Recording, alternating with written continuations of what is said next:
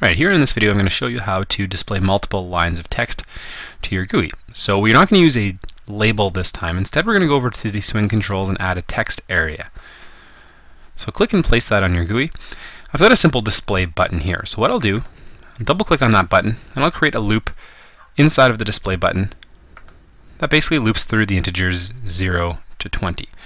So I'll use i and I'll start it off at 0 I'll initialize it, and then the second argument is how long I'm going to run that for. So let's run i and loop through it until it gets to 20. And we'll increase it by one each time. So I'll include then the curly braces for the block of code. And then in here, I'll go over to my design and figure out what exactly did I call that text box. This is JTextArea 2. So just like you would with a label, you can actually set the text on a JTextArea as well. And here what I will do is set it to be the value of i.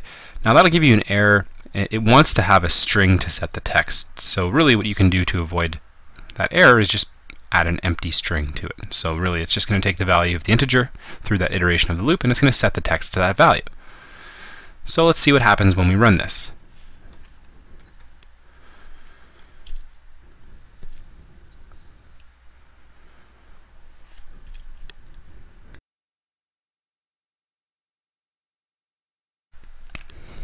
Okay, so here's my program when I click display. So this is working.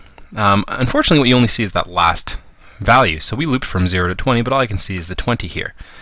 That's one of the problems. I wanted to be able to see all of the numbers. Um, the other issue here is that this tool actually allows the user to edit it. And right now I can actually type whatever I'd like in this text box. That's not really what you want. You want to have your, you know, just like with the label, you don't want it to be editable by the user. So we're going to fix both of those problems here. First of all, what's happening as we run through this loop is we're just setting the text with the current iteration. Now, it's happening so quickly we don't see it being updated with a 1 and a 2 and so on. So what we need to do is somehow store what we've already looped through and then add the current integer. So rather than setting the JTextArea inside of the loop, I'm going to cut that out. I'm going to paste it afterward. And what we're going to do inside is we're actually going to create a string to initialize or a string and we're going to initialize it with the empty string. So let's just call this output and right now it's empty. Now what we're going to do each time through the loop, in the same way that you can add on numbers, like in the example um, from this lesson where we looked at finding the sum of the numbers 1 to 100, you can do the same thing with a string. So I can take the output and add to it, or make it equal to the original output plus the i that I have for this iteration. So what this will do is take whatever I had before and add the current value onto it. Now I want to format this a little bit better. So what I'd like to do is I would like to include actually a, a new line character here so that I can actually have this printed on a separate line each time. So that new line character looks like this. So now what I can do is afterward, once I'm done setting up the string called output, I can set the text to have whatever I'd included with the output. So as we run this, now when we click on that display button, we should see not only the value of 20, but the values from 0 all the way up to 20 as well. Now, you'll see automatically in this area creates the scroll bars for you, the scroll pane. So that's good. The other thing here is we still haven't fixed that problem with this being editable. So someone could come over here and delete a few values, and that's not good. So the last thing you want to do is after your loop, and basically after you've done everything within this button of code, you want to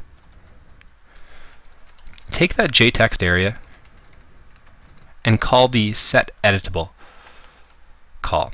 So what this will do is take a boolean argument. In this case, we want to make it false. And it'll actually make it so that the user cannot edit this text area. And you'll see once this button is clicked, it will take an effect. It actually won't happen before because this line is only going to be called once the button has been clicked. But they can add whatever they'd like to it beforehand. It'll all disappear once we set the output. So now that I've included that line, and I click on the display button,